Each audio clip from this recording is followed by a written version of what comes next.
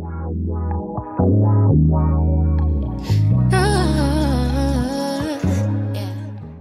Blue Skip Yourself Fit Day 11. Today, our last 20 seconds of each skip will be going for a burnout. We're doing a speed skip, standard forward jump, skipping as fast as you can.